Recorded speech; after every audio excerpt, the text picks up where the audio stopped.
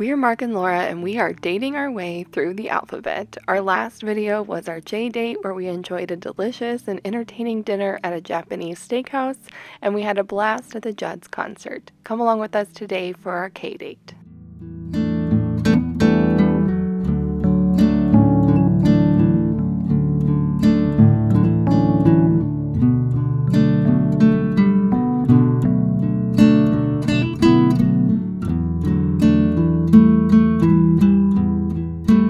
That was a good little quick stop at Kaldi's Coffee. What did you think about it, babe?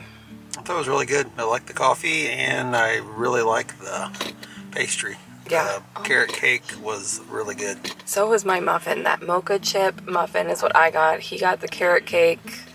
What like a little it? Bundt cake, like a carrot cake Bundt cake. Oh my gosh, they were both delicious. That muffin was like the best muffin I've ever had.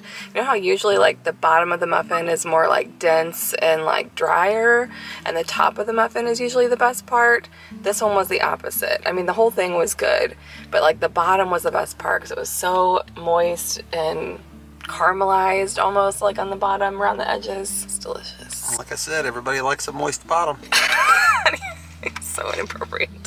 And I got a chai tea latte that I'm still finishing. What'd you get for your drink? It was like a I got a iced mocha and then add caramel, which is kind of my go-to when I go to pretty much any cold coffee. Yeah. Kaldi's Coffee is a St. Louis, locally owned. They have several different locations, but the one that we went to is off of Skinker and Forest Park Parkway, right by the Washington University campus, because that's where we're headed to next. We're going to the Kemper Art Museum. If you recognize the name Kemper, it is like Ellie Kemper, the actress from The Office and Unbreakable Kimmy Schmidt. You know that quirky little like redheaded actress, but her family is from Missouri, very wealthy family from Missouri. The full name of the museum is called the Mildred Lane Kemper Art Museum, which is named after Ellie Kemper's grandmother, but everybody just calls it the Kemper Art Museum, and so that's where we're headed to next.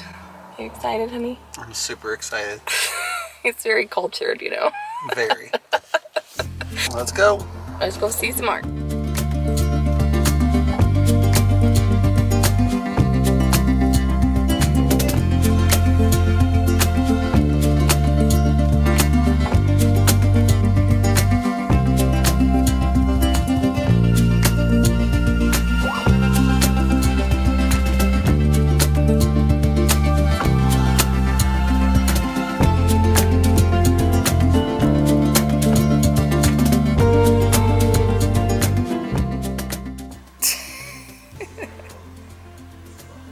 Don't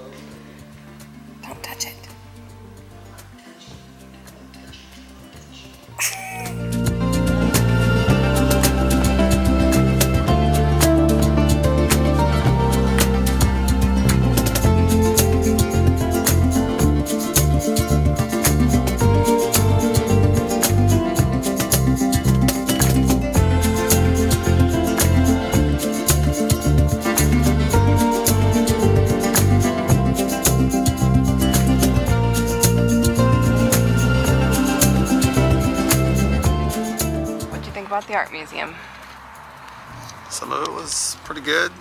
Some of it, mm, interesting. Word of advice, don't take him to any type of like abstract art area because he's gonna have some real rude things to say.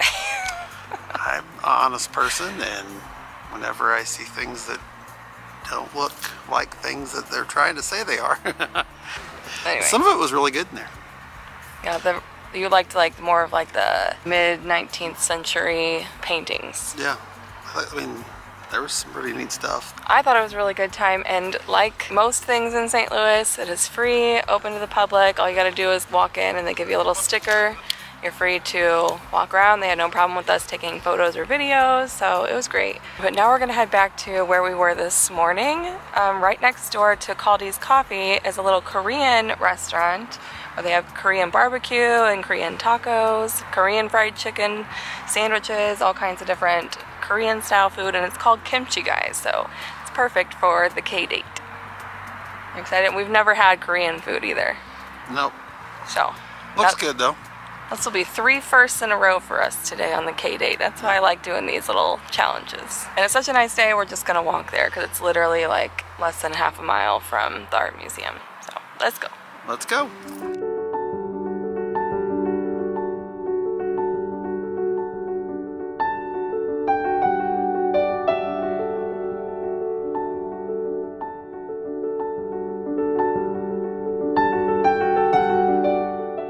We love getting ideas from you all for this series, and one of the recommendations we got last time was for Korean food. Thank you to Ashley for all the great suggestions and your comment. We'd love for you guys to leave us a comment down below with ideas for our L date. I got the four piece chicken tenders and I got two different flavors. One is like the original Korean sauce and then this is like a garlic soy sauce. It's super good. Mark got the 10 piece wing combo and he also got like the original Korean sauce and then he got the, you can get the honey I butter? the honey butter.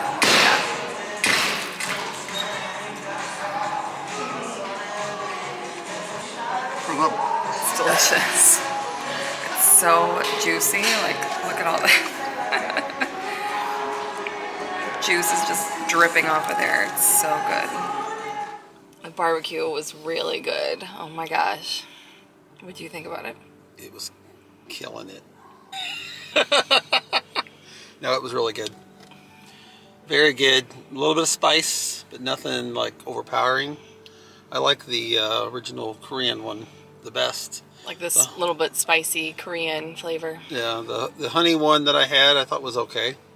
Didn't think it had like a ton of flavor myself, but I mean the chicken itself, the way they like double fried, it was like really crispy. It was really good. Yeah, I love that. Like the real crunchy outside because they double fry their chicken. Um, I really liked the garlic soy flavor of the sauces that I chose. The honey butter one that he's talking about that didn't have a lot of flavor is just very buttery, I think, to me. Yeah. With just like a hint of like maybe a sweetness of the honey, but mostly just like kind of like a buttery flavor. But I think that's what I was thinking. It was going to have a little bit more sweetness to it than. yeah, they were all really good though. I mean, I don't think you can go wrong, to be honest. No, I would. I mean, it wasn't like uneatable by any means. It's just Yeah. preferences. All right, so now we're headed to our last place for the day.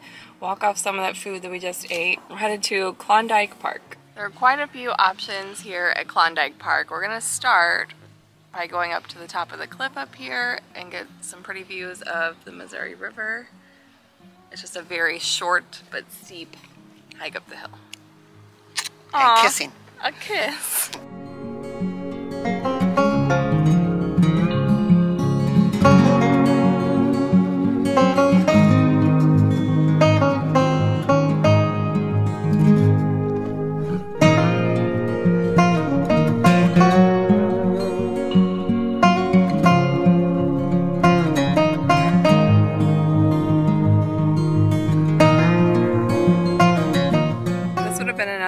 Idea for the K date is to go on the Katy Trail, but we did that for our E date because we rode the e bikes on the Katy Trail. That would be another good K date idea in the St. Louis area.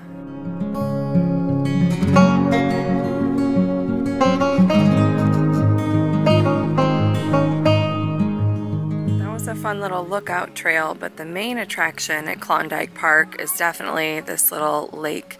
This lake was formed by a quarry, so you don't want to swim in here for sure, but the white sand is really beautiful with the cliffs in the background. And then, if it was a different time of year, we could do these little kayak rentals. This is called Paddle Share, and they have these little like ports where you can, they're like self-serve kayak rental spots, which are really cool, but it's not open until I think April through October is a season for those. So if it had been that time of year, we could have gone kayaking. This is also a really popular spot for like photography. You can see why. It's very beautiful with the white sand and the lake. There's a little trail that we can walk along too, which is really nice.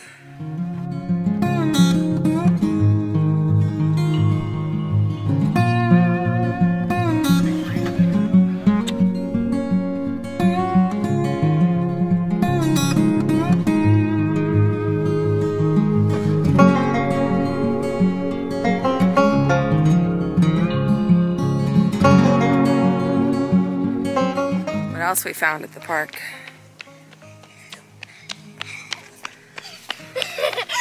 Boo. Hi, little baby. so now Lexi found us. My mom met us here. That's gonna be the end of our date day, our K date. Thank you guys for coming along with us. Give us your L date ideas in the description box down below. Thanks for coming along. No K remarks. Mm, Have a K day. have a K day, have a kick-ass day. Honey, I said have a K day now. we'll see you again next time. Just kidding. Bye-bye. Just like I like my bottoms nice and juicy.